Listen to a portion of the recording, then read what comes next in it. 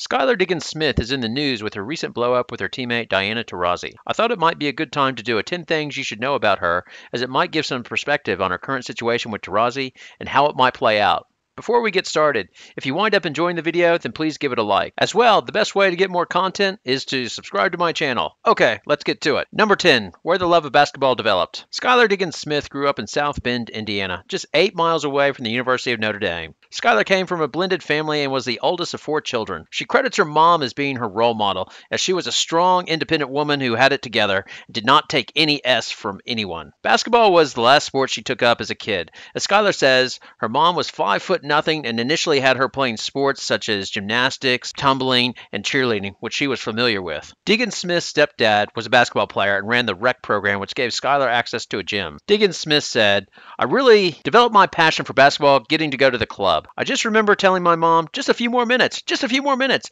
and her having to drag me off the court like every day.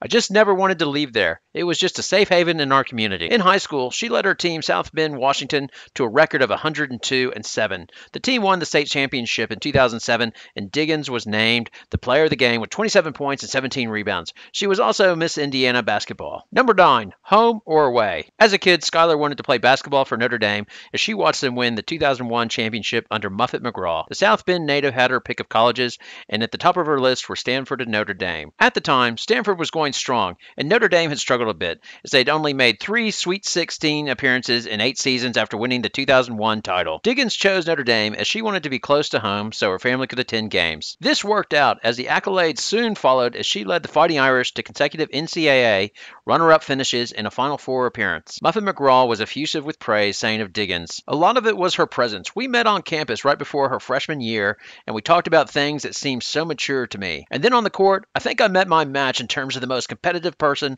I've ever had. Number 8, where Diggins got her Smith. Not only did Skylar have basketball success, but she also met her future husband, Daniel Smith, at Notre Dame. Smith also went to South Bend High School and went to Notre Dame on a football scholarship. He hoped to play in the NFL, but his future changed when he suffered a bad ankle fracture, which wound up refocusing Smith on his passion for art. He started selling his artwork online and started designing logos for clothing brands. He opened Dopeman Studios in Dallas, Texas, and his work has also been shown in music and art festivals. Skylar and Daniel have been together since 2014, and in June 2016, Smith proposed to Diggins during one of his art exhibits. The pair tied the knot in April 2019. After getting married to Daniel, she changed her jersey name to Diggins Smith on the court. Skylar showed off her jersey on Instagram, captioning it, Diggins, a two-time WNBA All-Star and guard for the Dallas Wings, will now go by Diggins Smith. Still to this day, Skylar refers to Daniel as the biggest part of my support system. Number 7. The sponsors and Roc Nation Sports. Diggins Smith was ahead of the game off the court as she was seeking sponsors before NIL came about. She was the first woman to sign up with Jay-Z's Roc Nation Sports, which helped her ink high profile partnership deals with Puma, Body Armor, and Clorox. These brands have allowed her to stay home during the offseason versus having to play basketball overseas in the offseason. Number six, the third pick is part of the 3 to See.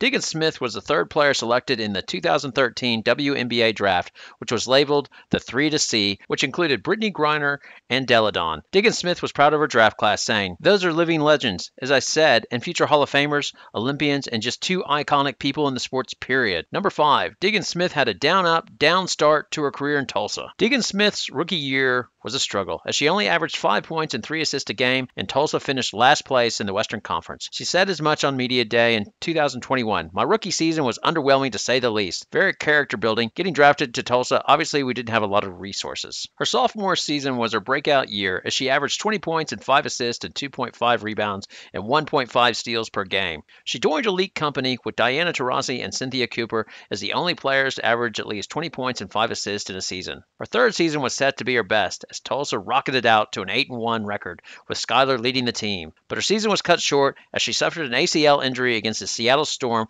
with only 44 seconds left in the game. I feel like I got hurt right at the peak of when I was really coming on strong in the league in Tulsa, and I felt like we might not lose another game. Number 4. Putting in the work. When Diggins Smith initially got to the WNBA, she initially took everything to the basket. Her second year coach, Fred Williams, helped develop and round out her game, saying, I was telling her, you got to develop being a triple threat player, Williams said. She kept trying to challenge challenge on drives and control the dribble penetration.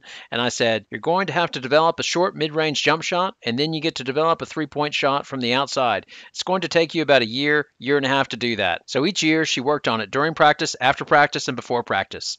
In the off season, her and I would get together with a lot of sessions together, one on one, to get some workouts in, and it really, really helped her. Over time, Diggins Smith became a true point guard. She put together a video of how Chris Paul uses the pick and roll, and it almost looked like a female version of Chris Paul running it. Number three, postpartum depression and unhappy in Dallas. In 2016, the Tulsa Shock would be no more. They moved to Dallas and rebranded as the Wings. She recovered from her ACL injury and had a solid comeback year, playing 27 games and ranking second in the team in points and assists with 13 and 3 respectively. In her second and third seasons in Dallas, Diggins Smith's game flourished as she made the All-Star team each season and helped Dallas make the playoffs where they wound up losing in the first round each season. Dallas then went bad in 2019, which coincided with the birth of her son in April 2019. Diggins Smith spent 2 months away from basketball. She spoke out about postpartum depression and then tried to bring awareness to the inequalities across the league. She was critical of the lack of resources the Wings and the WNBA provided for her after childbirth. Just simple things were missing, like a private area to breastfeed or pump milk,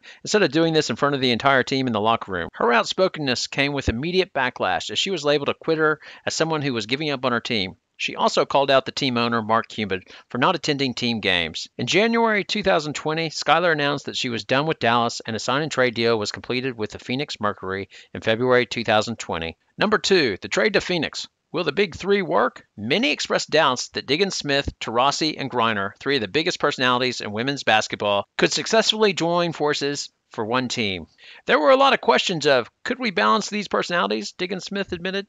Could we play together? Could we work together? But Diggins Smith was adamant that it would work, saying, we're all cut from the same cloth. That it could work was proven during the Mercury's 2021 campaign, which Diggins Smith described as her best season yet, from an individual and team standpoint put together. In just their second season playing together, Phoenix's Big Three led the Mercury to the WNBA Finals, where they lost to Candace Parker and the Chicago Sky in four games. Diggins Smith and Taurasi spent their offseason training together. Number one, the wheels fall off and can they be put back on? So 2022 was going to be the year for the Mercury, but so far the season has gone to hell. This started with Brittney Griner being detained in Russia. This has resulted in the team getting off to a slow start, which started when they opened the season with a 20-point loss to the Aces. With two strong-willed players such as Diggins Smith and Taurasi, it was only a matter of time before frustration boiled over, which happened when Phoenix took on the Aces again. Diggins Smith and Taurasi got into each other's faces during a timeout. Now the question is, is this blow-up just a storm in a teacup and able to be put down to the heat of the moment? Mercury coach Vanessa Nygaard addressed the interaction following the game and put it down to passion. Others aren't so sure. Diggins Smith missed the next game with the flu. Some speculated this might be the DT bug. A cryptic tweet sent out by Diggins Smith read, be careful what you tolerate.